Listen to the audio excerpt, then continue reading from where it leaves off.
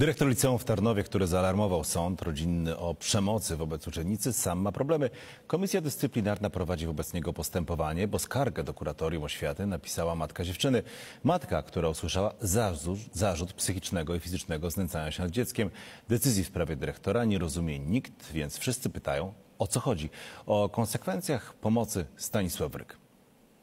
Tak zrobiłem, jestem z tego, z tego dumny, nie zmieniłbym tej decyzji. Decyzji, która uratowała uczennicę przed przemocą, ale może słono kosztować dyrektora Tarnowskiego Liceum. Wiem, że wtedy dziecku pomogłem. Dyrektor zawiadomił sąd rodzinny o przemocy wobec uczennicy. Znęcała się nad nią jej własna matka. Sąd zdecydował, dziewczyna ma mieszkać z ojcem.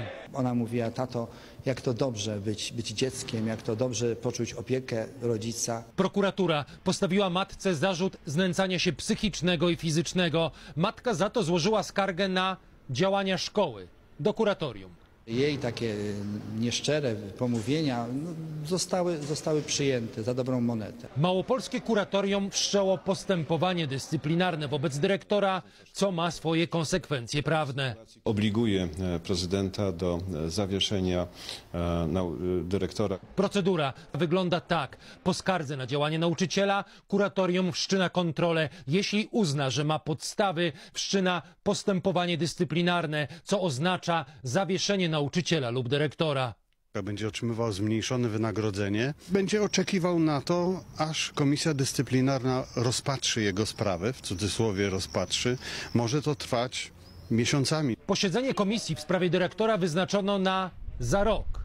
Uczniowie wywiesili taki baner. Byśmy chcieli, żeby dalej był naszym panem dyrektorem, żeby było tak, jak było. Jestem bardzo dumny, że mamy takiego pana dyrektora. I zaczęli zbierać podpisy razem z rodzicami w obronie swojego dyrektora. Kuratorium powinno się zastanowić, czy go nie nagrodzić. Opozycja zapowiedziała kontrolę w małopolskim kuratorium. żeby wpłynąć na panią kurator Nowak, żeby nie niszczyła człowieka, który zachował się przyzwoicie. Szefowa Sejmowej Komisji do Spraw Edukacji też zaapelowała o wyjaśnienie sprawy. Kurator absolutnie powinna jak najszybciej zweryfikować swoje decyzje. Jeżeli dyrektor szkoły zareagował na jakiekolwiek działania, które mogłyby sugerować przemoc, to oczywiście postąpił słusznie. Kurator tłumaczy, że postępowanie dyscyplinarne nie jest wynikiem zgłoszenia przez dyrektora sprawy do sądu, ale tego, że zrobił to za późno. Szkoła w kwietniu dowiedziała się o przemocy, a w czerwcu zawiadomiła sąd. To nieprawda.